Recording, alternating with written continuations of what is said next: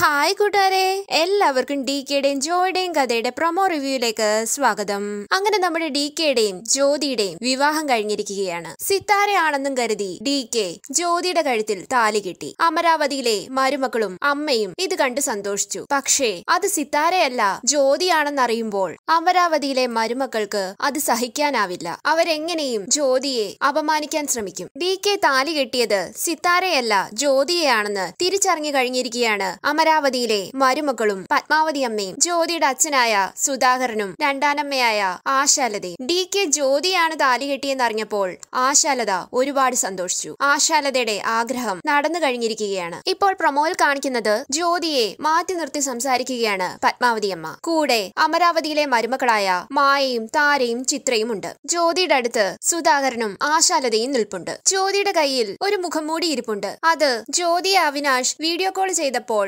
മുഖത്തിട്ടിരുന്ന ആ മുഖംമൂടിയാണ്. ജ്യോതി പറയുന്നു എന്റെ അനിയത്തിയെ ജ്യൂസിൽ മയക്കുമരുന്ന് കൊടുത്ത് തട്ടിക്കൊണ്ടുപോയി എന്നെ ഭീഷണിപ്പെടുത്തിയത് ഡി കെയുടെ ആളുകളാ. ഇത് കേട്ട് ആശാലതയും സുധാകരനും പത്മാവതി അമ്മയും ഞെട്ടുന്നു. മായ ദേഷ്യത്തോടുകൂടി ജ്യോതിയോട് പറയുന്നു ദേ അനാവശ്യം പറയരുത്. പിടിക്കപ്പെടുമെന്ന് ഉറപ്പായപ്പോൾ പുതിയ ഡ്രാമ കളിക്കുന്നോ നീ? ഇത് കേട്ട് ജ്യോതി ദേഷ്യത്തോടുകൂടി മായയെ നോക്കുന്നു. പ്രിയയെ തട്ടിക്കൊണ്ടുപോയി തന്നെ ഭീഷണിപ്പെടുത്തിയത് ഡി കെയുടെ ആൾക്കാരാണെന്ന് ജ്യോതി വിശ്വസിക്കുന്നു. ഡി കെ ജ്യോതിയെ താലി കെട്ടാൻ വേണ്ടി നാടകമാണെന്നും ജ്യോതി വിശ്വസിക്കുന്നു. ഇതിന്റെ പിന്നിൽ അവിനാഷ് ആണെന്ന് ജ്യോതിക്ക് തിരിച്ചറിയാൻ കഴിയുന്നില്ല. ഡി കെ ജ്യോതി വിവാഹം എന്ന അവിനാഷിന്റെ ലക്ഷ്യം സക്സസ് ആയിരിക്കുന്നു. എപ്പിസോഡ് വിശേഷങ്ങളുമായി വീണ്ടും കാണാം. Thank for watching. Please subscribe like and share my channel.